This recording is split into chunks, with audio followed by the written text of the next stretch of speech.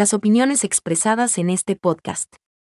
Son exclusivas de los comentaristas y no representan necesariamente las opiniones de Deepin en español o la de sus patrocinadores.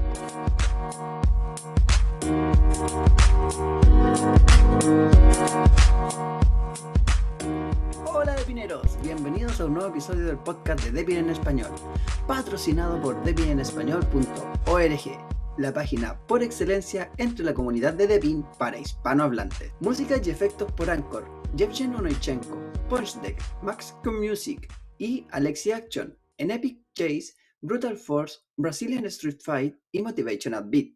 Te recordamos que el episodio está disponible en todas las plataformas principales de podcast, pero si lo prefieres, lo puedes escuchar directamente en nuestro sitio oficial, donde podrás interactuar con nuestros locutores e invitados. Solo sigue el enlace a la misma desde el menú superior de nuestra web. Y hoy estamos aquí nuevamente después de dos meses, de dos episodios de pausa con los locutores no oficiales, porque tenemos varios locutores, varios invitados, pero con los locutores más antiguos, por así decirlo. Y con nosotros nuevamente, Opic. ¿Cómo andas, Opic? ¿Qué pasó? Ya, ya, ya salimos ya. Eh, calentaron los suplentes, ahora tocan los titulares, ¿no? Está bien, también tuvieron buenas las vacaciones. Sí, sí, la verdad que, oye, estuvo bien, aunque se me hizo corto. Y pensé que al principio se hizo largo, pero luego ya se hizo corto. No sé, lo, normal, ¿no? Cuando uno coge vacaciones. sí, de primera yo también decía, oh, dos meses igual es harto, pero se pasó rápido. Sí, se pasó, se pasó, se pasó rápido, la verdad que sí. bueno, tenía yo ya tenía ganas ya de entrar en acción, ya no, y ahora venimos con una buena, ¿ah? porque ¿qué es lo que nos acontece hoy? la RC2 de Deeping. Bueno, la RC en general, la, o sea, la, Release Candidate o Candidate, como se diga, se pronuncia en inglés, de Deeping. La Release Candidate. Candidate. Como introducción, eh, ¿nos puedes explicar qué es una RC? Uh, la RC es lo que está justito antes del lanzamiento oficial. Lo que viene antes del lanzamiento oficial, después de las betas. Excelente. ¿Y cuántos números hay antes del lanzamiento oficial? Los que quieran. conociendo, vamos por el 2, pero conociendo a Deeping llegaremos al, no sé, al 20 o al 21.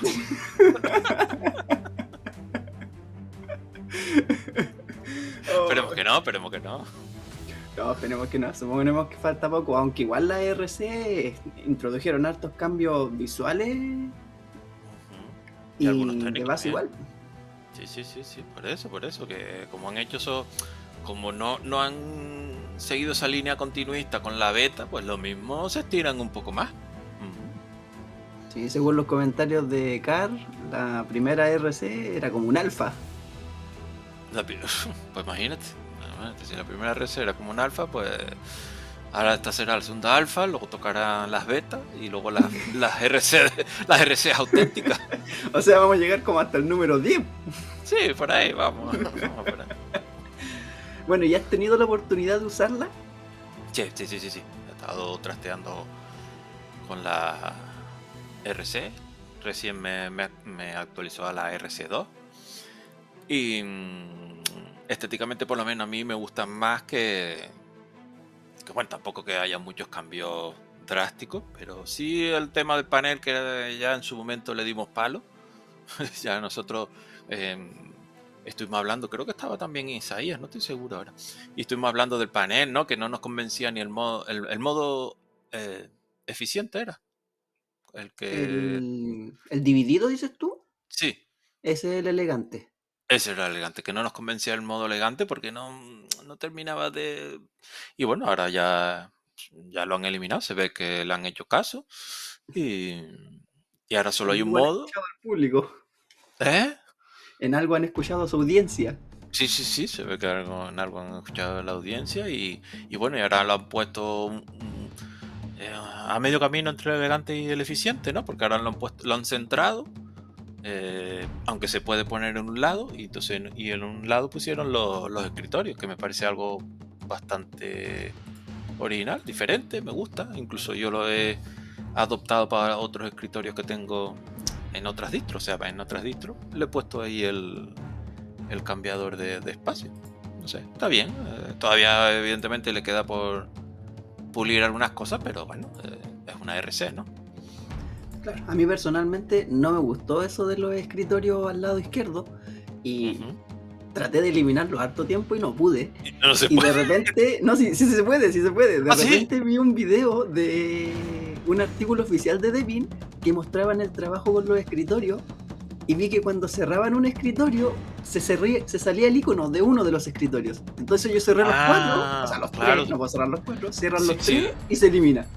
Claro, si dejas uno, claro, es que habían cuatro y yo he dejado dos. Ah, pues entonces sí, claro, si eliminas el, el, que queda, pues se, queda, se elimina. Sí, yo nunca he trabajado con múltiples escritorios, entonces tener el icono ahí permanente me molestaba. Vale, vale, vale. A mí no, me gustó y, lo he replicado, por ejemplo, en, en el otro ordenador que tengo Linux Mint y en este mismo ordenador donde tengo Dipi tengo también Novara y, y en todos le he puesto lo mismo, me gustó.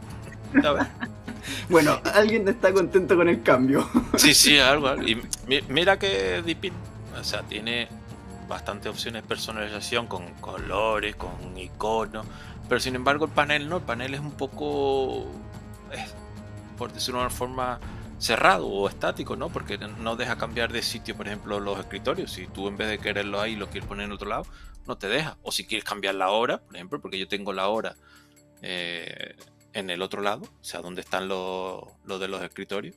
Yo en los, en los otros ordenadores los tengo así cambiados. Entonces, en ese aspecto sí que es más cerrado. O sea, eh, es un. Deepin es un escritorio bastante personalizable, pero en otros aspectos no. Algo curioso. Sí, no es mucho lo que se puede personalizar. El otro día alguien preguntaba por cómo aplicar un efecto blur en la barra de tareas en el escritorio, en el dock, perdón. Y tampoco se puede, más de lo que permiten los ajustes de configuración. Vale, ok. Ok. Bueno, ya saldrá alguna extensión o algo, o, algún invento. Ya no inventaremos algo. Por ahí saldrá algún Hackerman, algún Gasper con sus modificaciones. Sí, sí, está. en Latin Linux, a ver si inventan algo, ¿no? Por ejemplo. Desde aquí los animamos a que inventen algo. Es que tampoco, eso es lo que pasa con Debian, que si pones a alguien o alguien quiere desarrollar algo para modificar el escritorio, tal vez te va a funcionar en esta versión, pero en la RC3, capaz que ya no funcione. Claro, es que hasta que no salga la versión estable, mejor no inventar nada, ¿no? Y, aún así, y aún así, con el trabajo en la tienda. Sí, o sea, hay bastante jaleo cuando cambia de una a otra. Vale, pues, pues sí mejor es, como dije, esperar ¿no? a la versión estable y bueno, y luego hay que ver porque ellos también eh, suelen hacer, cuando pasa un año, un año y algo, las típicas actualizaciones de estas gordas que, cambian un montón de cosas y esto no me gusta, esto sí, fra, fra. Y, entran a cortar y integran nueva y ahí es donde dejan la escoba. Sí, sí, ahí está. Entonces, pues bueno, bueno, ya se verá cuando lancen la, la estable, a ver, a ver cómo queda. Y dentro de lo poco que la has usado, ¿has notado algún fallo, algún error?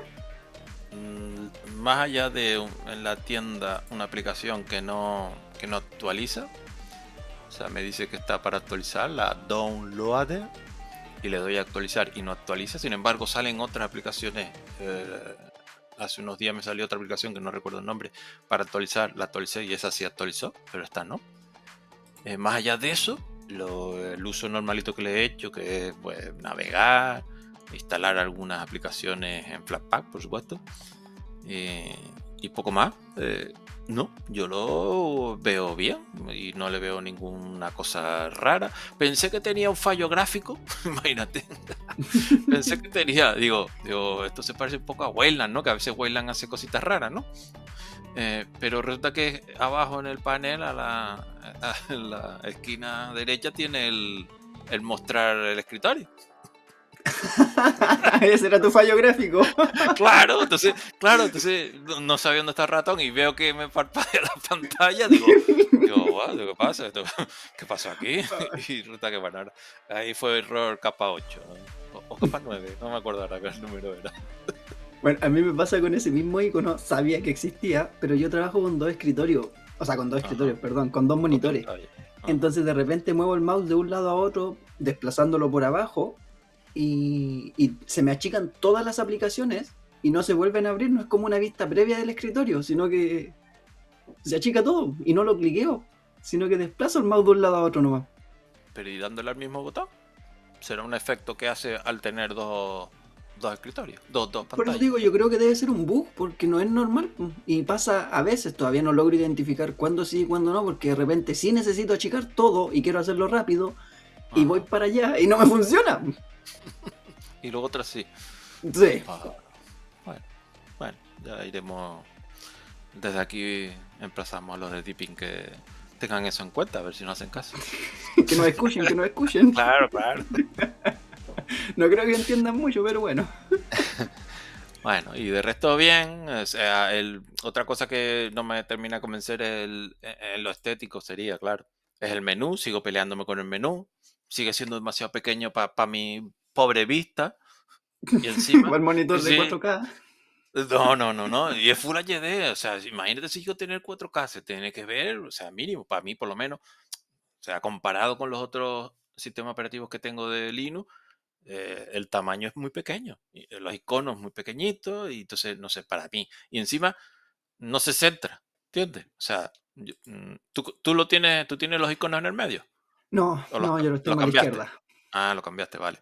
Pues yo lo tengo en el medio. Entonces, cuando le doy a la- al lanzador, donde están la- salen las aplicaciones, esa pantallita no se centra, se queda más desplazada para un lado que para otro. Y me pone Claro, dependiendo de la cantidad de aplicaciones que tenga en la barra. Claro, ahí está. Si tuvieras más, se desplazaría y entonces se centraría. Pero no, lo- no es lo que como tiene que ser. Por ejemplo, en, en, en Linux Mint, da igual que yo tenga dos o tenga una, se centra. ¿Entiendes? El menú se centra. Aquí no, entonces- centrado. Claro, entonces aquí como me pone de los nervios no- el que no esté centrado, pues lo he puesto en la otra opción que es el extendido, que es como si fuera un como genome, que se vería toda eh, La el- pantalla completa. Sí, ahí está, ese, ese, ese. Pero bueno, supongo que también se irá puliendo, supongo. Y de funcionamiento, pues poco más. eh, no he tratado mucho con, con los Linlong porque, según leo en el artículo que publicamos de la RC1, se, se eliminaron muchos de ellos. Y efectivamente, antes lo busqué y no tengo nada en Linlong. Claro, eso era al pasar desde la beta 3 a la RC. Sí, pero mm, me parece curioso, ¿no? Que, que esa apuesta con los Linlong y de repente. ¡fu! Deepin siendo Deepin. Sí, sí, sí. Hombre, conociendo a Deepin, a los de Deepin que hacen estas cosas, pues bueno, no te sorprende tanto, pero pero sorprende porque son sus paquetes y bueno, algo habrán visto que, no sé, que no, no les convencía, ¿no? No lo sé. Es muy probable. Lo que yo me Ya. parece que leí tiempo atrás es que la versión que tenían en el RC, por así decirlo, era como más actualizada que la esta- que estaba en la beta, pero no se podía actualizar, sino que había que reinstalar. Entonces por eso optaron por cuando actualizabas desde la beta a la RC, te desinstalaba las que tenías y tú después tenías que instalar la otra. Vale. Y de hecho se supone que había una aplicación que se llamaba Linklon Repair Tool, parece que era, Ajá. que te ayudaba en el proceso, pero nunca la vimos funcionando. De hecho, yo actualicé desde la beta al RC y no me apareció la aplicación. La busqué en el repositorio y no estaba. La busqué en la tienda y no la encontré. Ah, o sea, que la eliminaron. Así que después igual, bueno, yo actualicé para ver si se podía, si corría algún fallo y después igual instalé la RC de cero. De cero. Vale, o sea que tú actualizaste de la beta y si se puede, de la beta a la RC. Vale, Ujú. ok. Pero aún así luego hiciste instalación en limpio por si acaso, ¿no? Sí, lo que no instalé en limpio fue ahora la RC2. Entonces actualicé de RC a RC2 y espero que no Vale. salgan muchas más RC porque voy a seguir actualizando hasta que salga la Sí, estable. algún. Vale, vale, no, sí, en o principio hasta que me también. crashee. Ahí está, hasta que crashee, porque. Está. yo también actualicé desde la RC1 a la RC2 y bueno, en principio seguiré actualizando de RC a RC hasta que salga la estable, a no ser que pase algo raro. ¿no? También. Así que esperemos que no pase mucho tiempo y que no salgan muchas entre medio para que no demore tanto y no hayan tantos fallos. Porque otra cosa que a mí me falla es la captura de pantalla. De primera funciona súper bien y de repente llega un momento en el que voy a sacar una captura de pantalla con el atajo de teclado y no abre la aplicación. Voy al inicio, busco la aplicación, la abro y tampoco abre. Tengo que reiniciar la sesión para poder utilizarla. Es decir, que la usa un par de veces y va y luego deja de funcionar. Sí, y como te digo, no, no sé por qué, a veces falla y, y deja de funcionar. Vale, antes hice yo una captura y no, no me falló, pero claro, solo hice una, así que será cuestión de seguir probando. Que por cierto, otra cosa que me gusta, ha visto el portapapeles ahora que está ahí en, en un lateral y que sale un panel lateral. sí, sí, lo he visto. Eh, pe- pero, me- mira que yo vi ahí el, el- el icono ahí abajo, digo, ¿qué, qué hace esa, esa cosa ahí? Y le di y salió así el esto lateral y me recordó a Deepin 15, digo, ay, hostia, ay, ay, entonces lo dejé.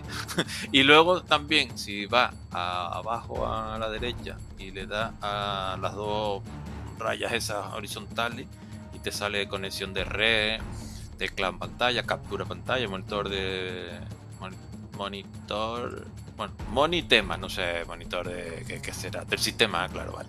Y sale otro panel lateral. claro, es que sale abreviado, monitema. Vale. A mí me dicen, yo tengo, lo tengo en inglés, entonces me dice, Siste Nitor. Nitor. Ay, dices, ah, se llama Nitor, Nitor. y se abre también otro panel lateral y esto me- mm, no sé si en la beta estaba. No me- estaban estos paneles laterales. Eh, mira, el del portapapeles te puedo asegurar que sí estaba, pero no estaba en el escritorio de acceso simple. Tú tenías que apretar Windows, entre comillas, no sé cómo se llamará la tecla en Debian, pero en el teclado te apretas la tecla de Windows V y te habla el clipboard. Windows te, refiere a la tecla super.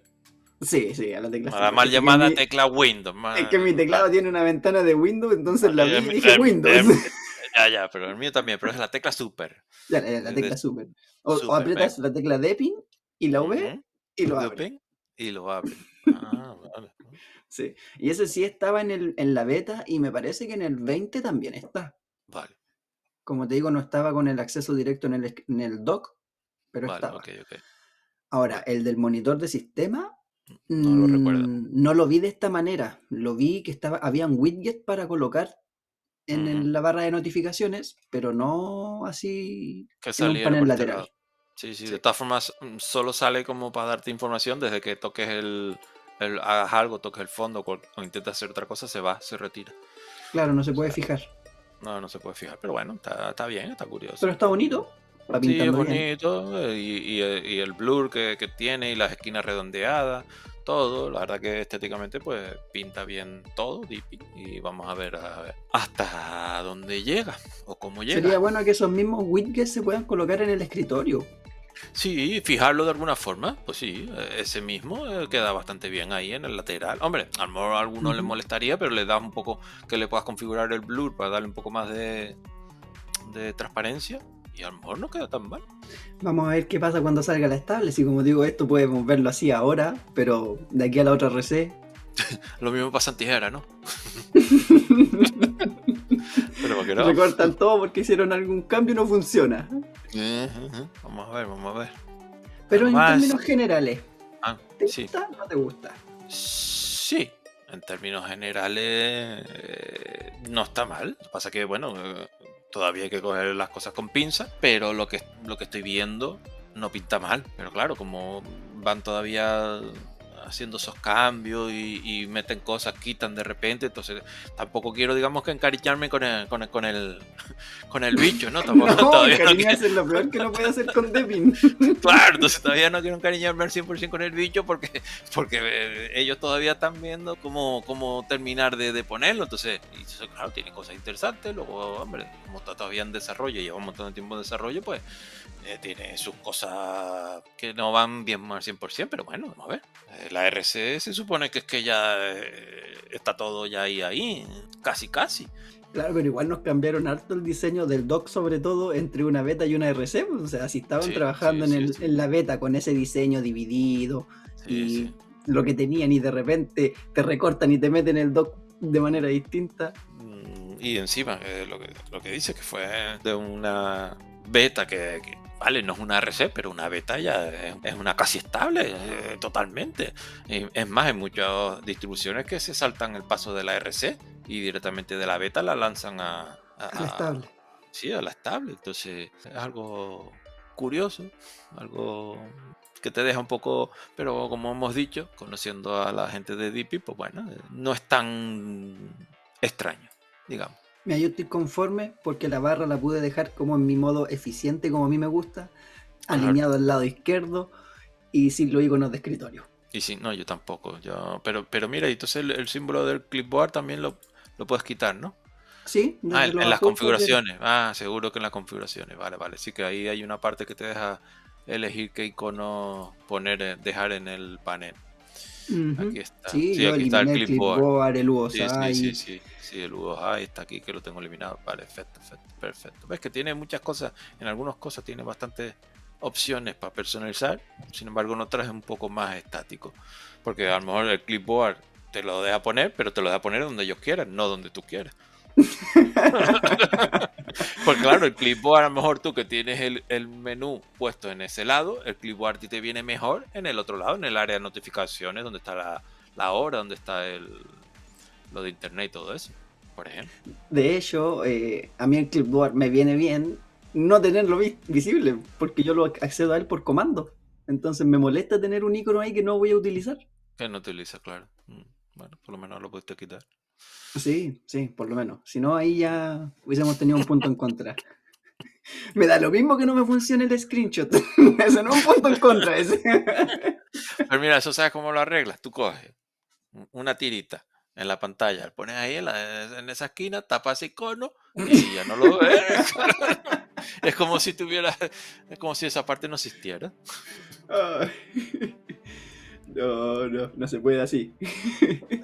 No, y en cuanto al sistema me funciona re bien. Las aplicaciones eh, trato de instalarlas por lo general desde la misma tienda de Deepin. Y las que no instalo de Deepin son contadas. Bueno, Telegram que lo instalo por Flatpak. El BS Code que lo estoy instalando también desde un archivo descargable desde la misma web. Y creo que paramos de contar porque lo demás lo he instalado todo desde la tienda. Y encontré una aplicación que se llama Tipora, que es para editar Markdown. Súper buena. ¿Para editar qué? Markdown. Markdown. Markdown. No lo conoces. No, no sé qué es Mark, eh, Mark. Ah, la estoy viendo aquí en la tienda. Markdown. No sé qué es Mark. ¿Qué es Mark? ¿Es una aplicación? Eh, o sea, Markdown. Markdown es un. Mm, Bueno, no soy muy entendido, pero es como un tipo de escritura, por así decirlo, que tú utilizas símbolos y vas editando con títulos, con listas, y se va creando un formato bonito, de Mm, manera pero- rápida. Pero, ¿y, y el Markdown ese es un programa que sirve para hacer qué? Solo No, es no, para es que escribir. el Markdown es un tipo de como de escritura, y los Ah, programas vale, vale. eh, interpretan ese- esa escritura. Vale, vale. Por Se ejemplo, con el hashtag. como. ¿Mm? Ajá, que, que es como para programar. Entre comillas, es para hacer documentos de texto más que para programar. Vale. Como te digo, es para hacer documentos simples y rápidos, porque con el hashtag colocas un título. Doble hashtag es como un subtítulo. Con Ah. el asterisco haces una lista. Y así Ah. tiene varias sintaxis. Mi- mi- mira que yo que pensé que, que los empollones era Edgar y Isaías y resulta que tú también eres un empollón o qué? Ah, o sea, que eh, el único que no se entera de nada soy yo o qué? Vive abajo de una piedra, hombre. Vaya, vaya, Markdown. Vale, vale. Tipora. ¿Y el era una Tipora es? mirada. Sí, el no, no, Tipora es una mirando. aplicación. Sí, sí, sí, una aplicación. Sí, lo estoy viendo, estoy viendo ahora aquí el Tipora. Entonces, sí está muy relacionado a la programación porque por lo general los archivos de README que tú haces para los repositorios lo haces con Markdown. Y como te digo, es súper sencillo, no solamente se puede utilizar en eso, sí es genial, porque te crea enlaces directos, un menú lateral, entonces tú pincháis al lado en el menú y te lleva así enseguida al título 1, al subtítulo tanto y así. Pues está bien. Y para escribir, solo para escribir, también podría servir, ¿no? ¿Cómo solo para escribir si es para escribir? Sí, sí, sí, pero me refiero como se suele utilizar para, para combinarlo a lo mejor con otros programas, pero si lo quieres solo para escribir, imagínate, pues, quiero hacer un guion y te pones a escribir con eso, a lo mejor también puede servir, ¿no? Digo yo.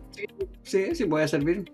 Si como te digo, tú puedes escribir en Markdown hasta en un blog de texto, en, en un blog de notas, en el documento que tú quieras, puedes utilizar la sintaxis de Markdown, pero después para interpretarlo necesitas un programa para ello, porque si no vas a ver el texto con los asteriscos, con los gatos, Vale, vale, vale.